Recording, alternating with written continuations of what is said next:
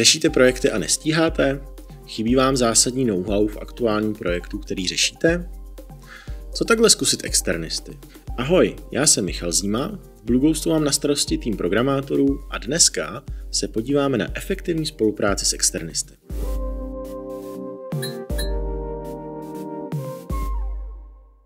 V první řadě je potřeba si říct, kdo je to externista. Za mě je to někdo, kdo vám bez větší znalostí firmního prostředí dokáže dodat balík práce, který si u něj objednáte. Externí agentura vám je schopná dodat kompletní řešení. Tedy nezajímá vás úplně, jak to funguje uvnitř, ale zajímá vás, jestli to plní vaše biznisové cíle. Kdežto externí programátoři vám dodávají části kódu, které musí přesně padnout do vašeho projektu. A na ty se dneska podíváme především. Externisté musí být zkušení lidé, kteří jsou dobří ve svém oboru. Můžete od nich jednoduše získat know-how, které vám chybí v vašem aktuálním projektu, anebo jen získat efektivní spolupracovníky pro daný úkol. Díky tomu, že neznají vaše firmní prostředí, přichází s novými nápady a technologiemi, které můžete také využívat a začlenit do vlastního portfolia. Pamatujte ale, že pokud externisté řeší celý projekt, zůstává veškeré know-how u nich. Není tedy vhodné vše řešit externí formou. Samozřejmě výjimky jsou v případech, kdy plánujete dlouhodobou spolupráci, tedy něco jako partnerství. My v Blue Ghostu to děláme tak, že u každého projektu máme hlavního interního programátora, přes kterého prochází veškerá práce ostatních i externích programátorů a tím je zaručena kvalita celého projektu.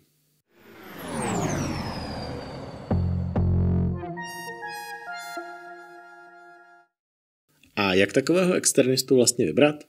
Je to určitě nesnadný úkol. Říkali jsme si, že je potřeba, aby měl zkušenosti v daném oboru. Ty je dobré ještě ověřit, ideálně u jednoho nebo dvou předchozích klientů. Důležité také je, abyste si lidsky sedli. Musíte si rozumět. A naprosto nezbytné je, abyste si sladili a obou straně potvrdili očekávání od dané spolupráce. Například, pokud bude váš externí programátor očekávat, že vám bude dodávat rychle části kódu, které po něm někdo zkontroluje a případně opraví. A vy budete očekávat, že vám bude dodávat komplexní kód, který ošetřuje každou eventualitu, určitě spolupráce nikdy nebude fungovat. Pro funkční spolupráci je tedy nutné mít definováno, kdy je práce hotová. Například, pokud jsou součástí zadání akceptační testy, je práce hotová ve chvíli, kdy na testovacím serveru prochází všechny testy v pořádku. Dále je potřeba si definovat standardy, kvalitu a proces předávání kódu. Je to poměrně technické téma a pojďme si říct, že nám stačí, když budeme používat nějaké automatické nástroje typu PHP stan, které kontrolu udělají za nás.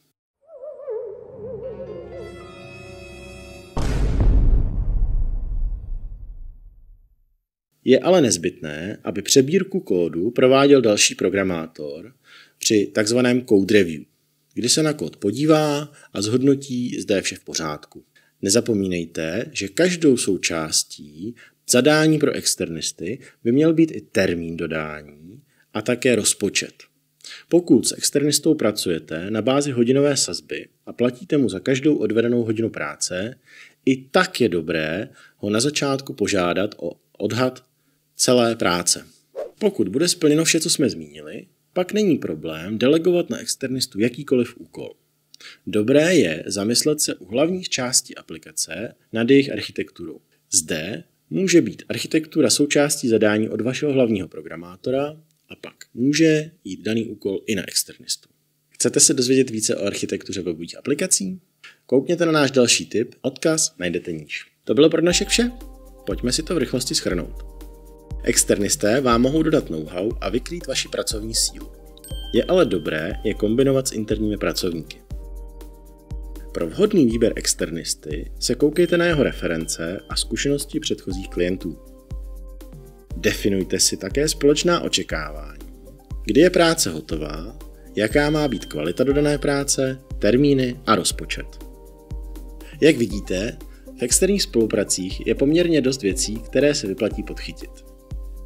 Budeme rádi, když s námi budete sdílet vaše tipy, zkušenosti a podněty v komentáři pod videem. Pokud byste hledali skvělého externího programátora vaší webové aplikace nebo e-shopu, já myslím, že víte, kam se obrátit. A pro další tipy běžte na tips.blueghost.cz Blue Ghost plní vaše digitální cíle.